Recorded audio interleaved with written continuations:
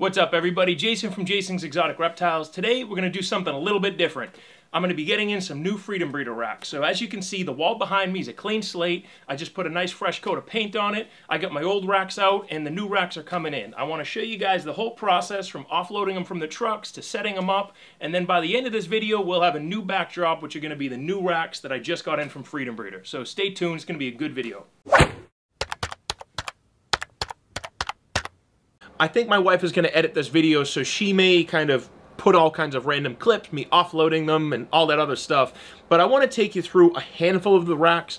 I cannot take you through every rack. I have too many of them, but I want to show you some models and I'll tell you kind of what I like about them. I just got in my new models. I have some older ones and we can kind of show the evolution of Freedom Breeder in itself. So I'm going to flip the camera and we're going to take a deeper dive at this.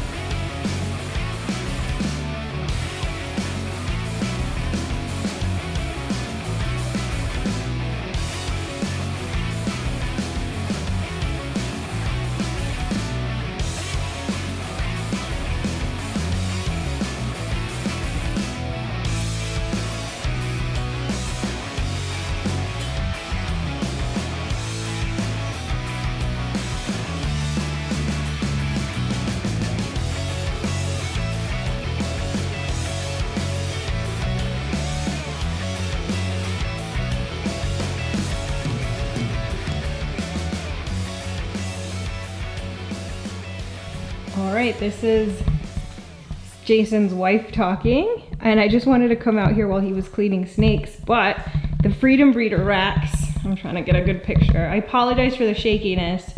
I'm not a professional camera person, but the Freedom Breeder racks have arrived, and I'm sure he's gonna show more footage of him maybe assembling it and prepping them for the snakes. But yeah, they came, so that's exciting. My wife already took you around, showed you some of the racks. We're in my garage. I got the, I think it's called the 664, and I have the 1075 baby racks, adult racks. Here behind me, I'm gonna show you, take a better look. I'm holding the camera by hand. It's gonna be shaky, but then we're gonna start pulling them downstairs. I do have some older Freedom Breeder racks that I need to pull out.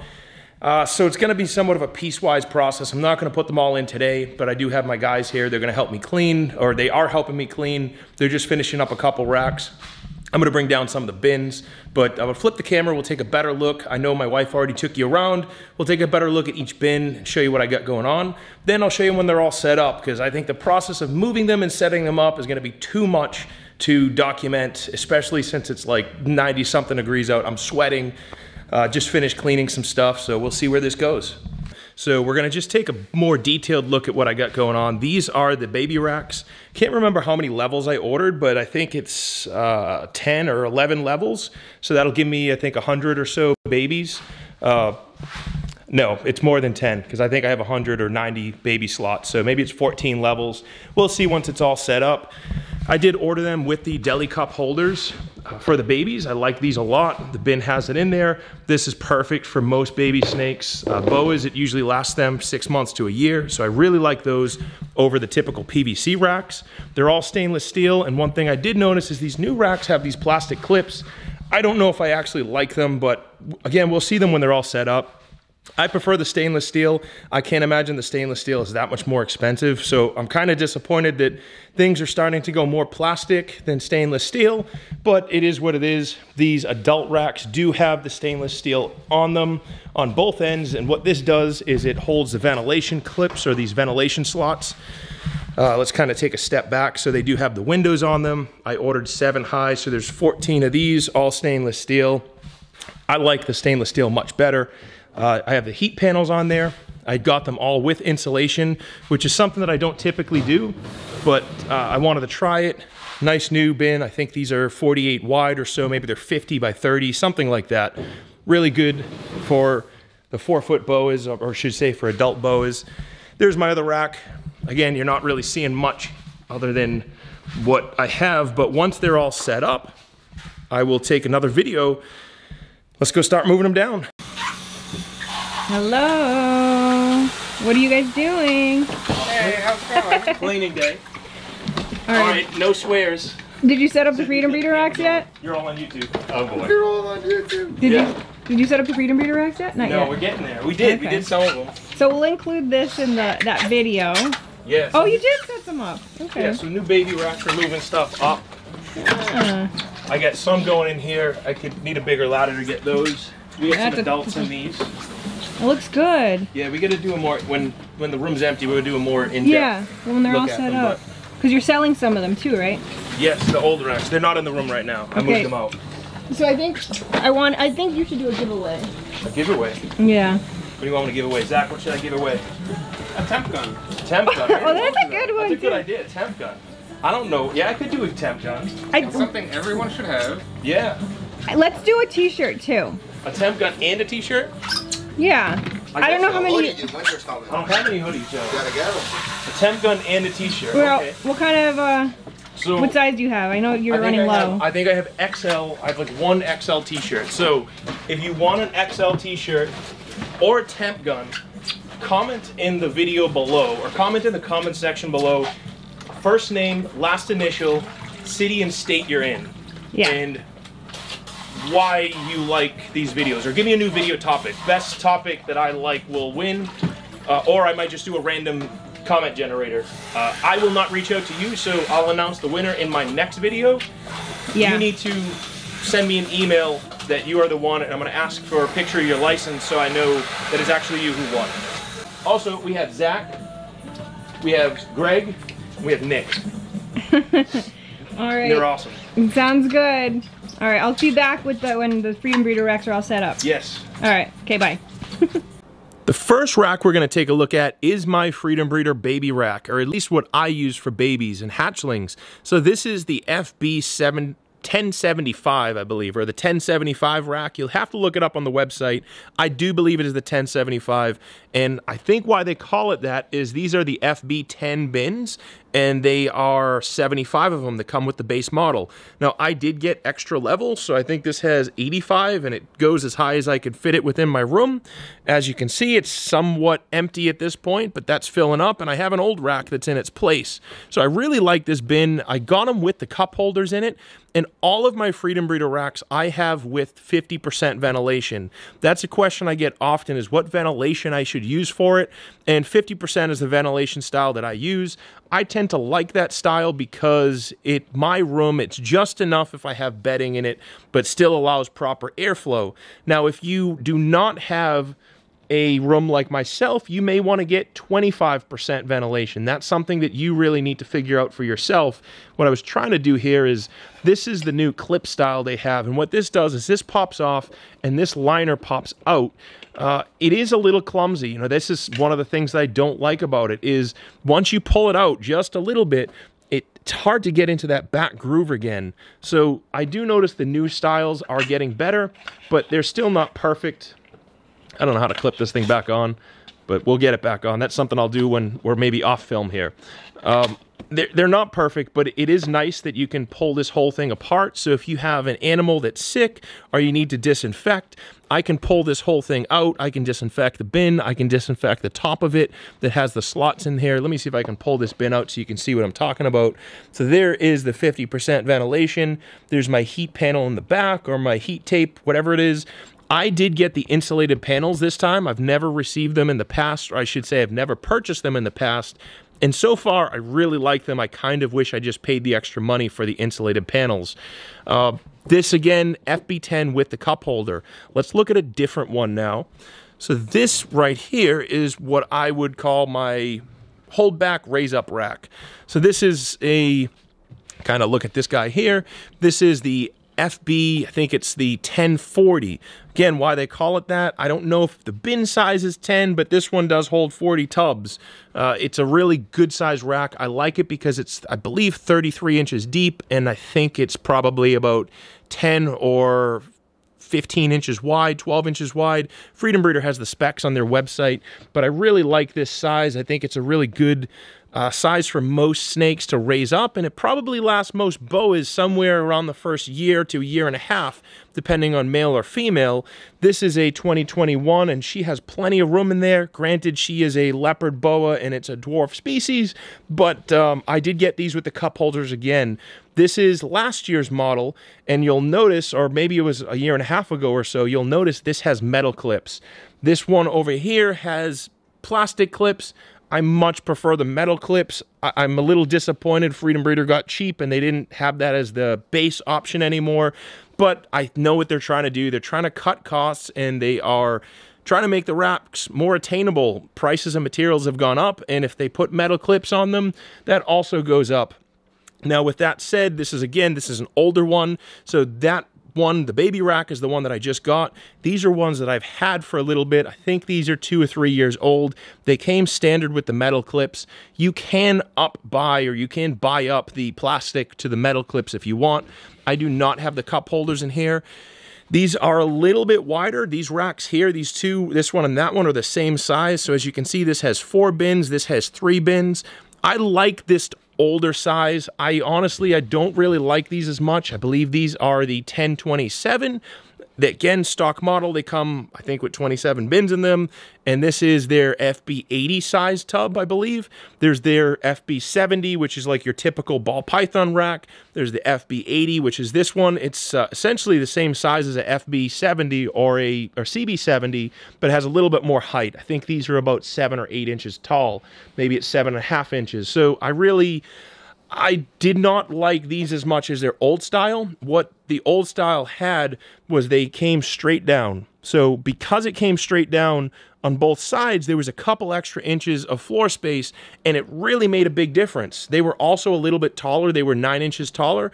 I would rather them be nine inches because it really seemed like the snake could last in there a little bit longer. So let's kind of keep moving. There's another one of those. This is the FB90. I love this FB90 size. It is two bins across. It's, I believe, 30 inches wide or 27 or so inches wide by 33 inches deep. I think it's really good for most male adult boas, except for when they get a little bit larger. Most of my raise up and juvenile females, and all of these racks, they do fit on top of each other, at least these style here. The baby rack does not. It's, I think, 18 inches deep, and these are 33 inches. Again, Freedom Breeders website will have all the specs.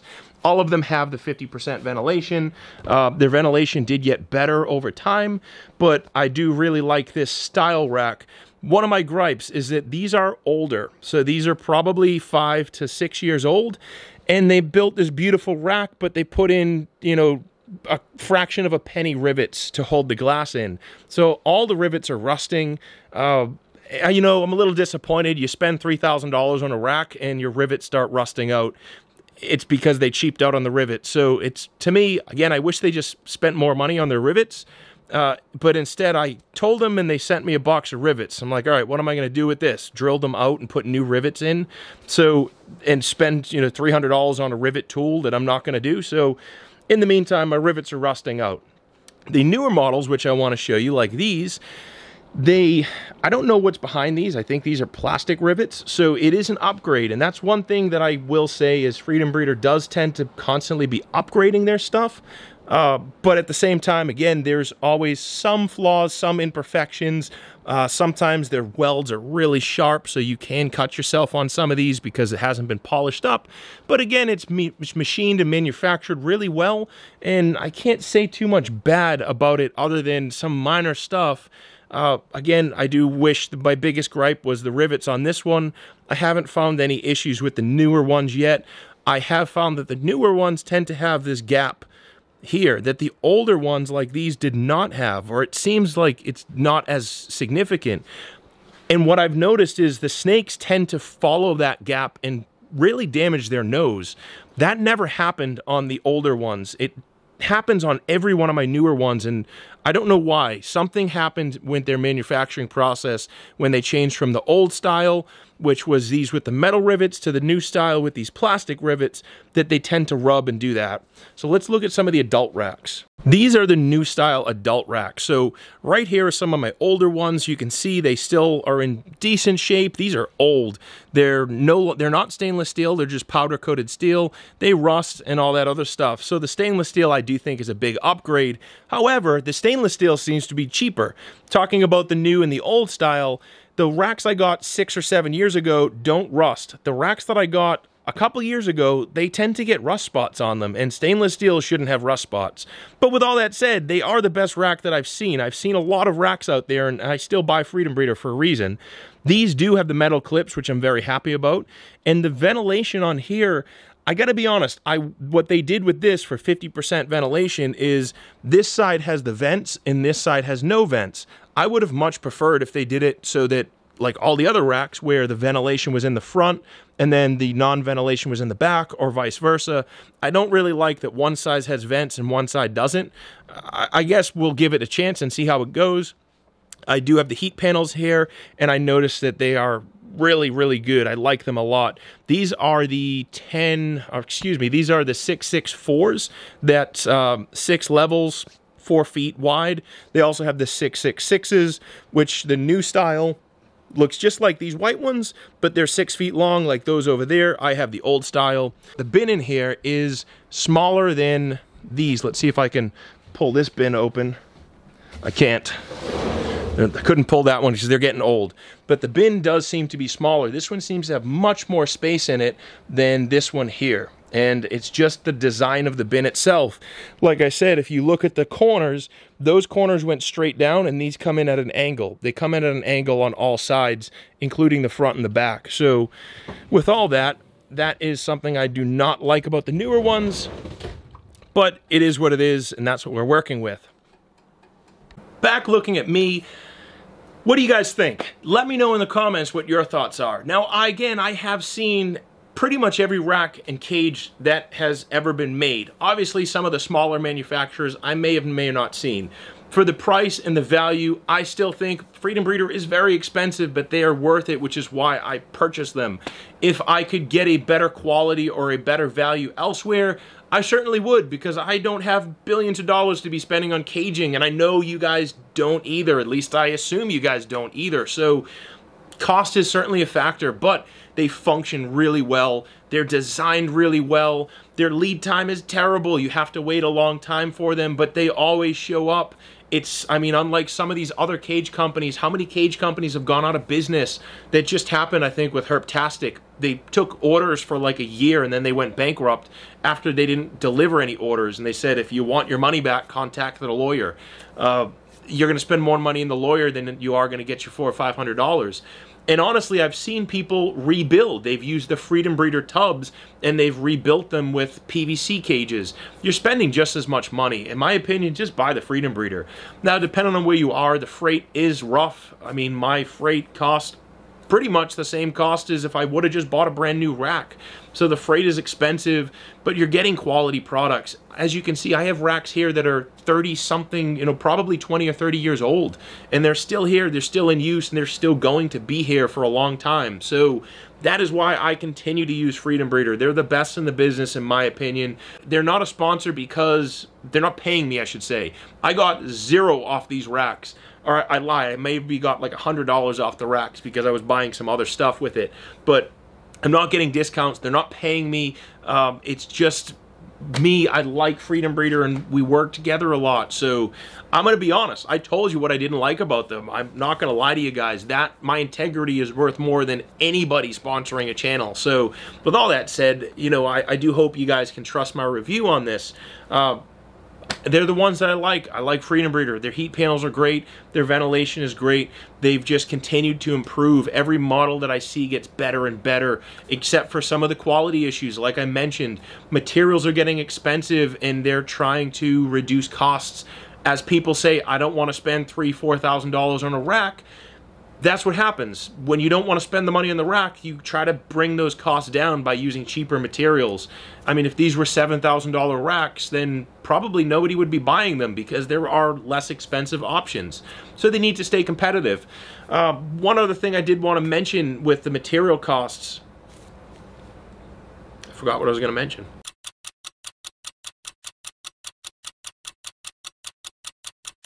Okay, I remembered what I was going to mention. So one other thing I was going to talk about is they do have what's called the Pro Line series, and those come completely unassembled.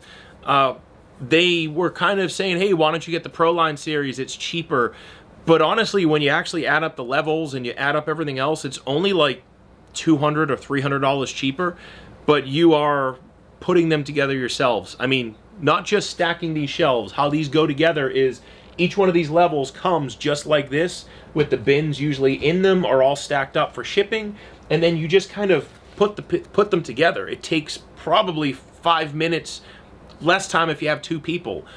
The Proline racks come like an IKEA bureau and if you are not wanting to assemble uh, do not do that. You're going to spend your time doing and assembling, and I get why they're doing it, or at least I can imagine. One, its cost is going to be lower. Two, is they can probably keep them in stock because they're not assembling them. There's no space required. It's, you know, here's your box of rivets, here's your box of, of shelves, here's your, you know, connecting panels. It's just keep it all in, fill the order, and ship it out. So it's probably easier to fill those because there's no labor and welding involved. But at the same time, I still don't feel like that's a better quality rack. And for the money I'm saving, if it were half the price, a quarter of the price, maybe I'd do it. But we're only talking like a small percentage, like 5%, 10% cheaper, which again in the big picture, what is your time worth? Are you what happens when you put the rivet in wrong? What happens when you have this thing all assembled and you have 20 pieces still? Clearly it wasn't assembled correctly. So I would rather pay Freedom Breeder to do it the right way, assemble it all, weld it all, gives me five minutes. Otherwise, these racks would still be sitting in the corner not set up yet. So if that's your thing, if you like getting hands-on, if you have an air rivet gun and you're good with stuff and good with building, and you have the time, then maybe you want to save yourself a couple hundred dollars and go for that rack. Me personally, I don't like it. I will never buy it. Uh, if that's you, go for it. And I'm not bashing Freedom Breeder. Again, I know why they're doing this. It's just totally not my thing. I am not setting up racks myself using rivet guns and all that stuff. I would like to see them do a whole video just on how to set up those racks without the air rivet gun. You know, have just some random person, have me come out, ship me a rack, and have me set it up and really film how long it takes. I think it took Jesse, the owner of Freedom Breeder, like 45 minutes or a couple hours to set this up with an air rivet, and he does this for a living. So if it, let's say it did take only 45 minutes, if it took him 45 minutes, it's gonna take me like a month. So I don't know what it's supposed to look like. So it's like I have no picture. I just okay, this maybe goes this way, maybe it goes that way. The other thing is that the pieces are more plastic, so it's less less metal, more plastic. So overall, I don't think it's really that big of a deal. Um, and I don't want to participate in that. I just want a nice rack shipped to me. I want to stack it up and we're in good shape. But if that's your deal, go for it. So with all that said, hopefully this video was helpful. Hopefully Freedom Breeder doesn't get too pissed off with me, but at the end of the day, I want to give my honest reviews on what I'm receiving, and it is what it is. That's why you guys, I hope, can trust what I'm saying is, one, it is my opinion, but two, it is an unbiased opinion. I'm going to give you the good, the bad, and the ugly, and the great. So with all that said, until next week, please check out my website if you're looking for any cool snakes. I have some awesome stuff that I just put out. Check out my Patreon if you have general questions or you just want to get into a community of people who are like-minded talking about reptiles. And until then, make sure you like this video, comment, subscribe, and give it a thumbs up, and we'll catch you next week. Keep it moving.